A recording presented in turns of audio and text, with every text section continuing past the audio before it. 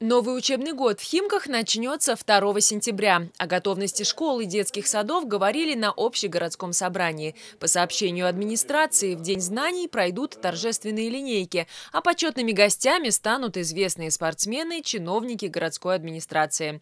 Также во всех школах проведут специальные уроки, посвященные юбилейной дате – 80-летию Химок. Стоит отметить, что в городском округе функционирует свыше 35 школ. За парты в этом году сядут чуть больше 30 тысяч школьников. Учебники и все пособия в школах розданы, а классы естественных наук оборудованы всем необходимым.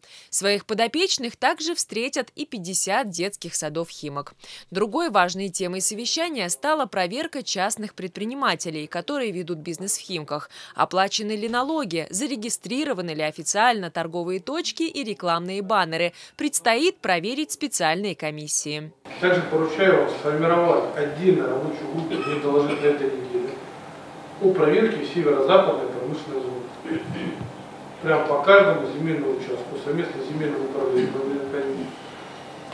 дать мне план проверки северо-западной промзоны. Наша территория, если там ведется деятельность, обязаны по закону открывать обособленное подразделение, обязаны регистрироваться в налоговую. Это не моя просьба, это обязательство по закону. Во время совещания также обсуждали вопросы строительства социальных объектов, содержания дорог и замены лифтового оборудования в городском округе.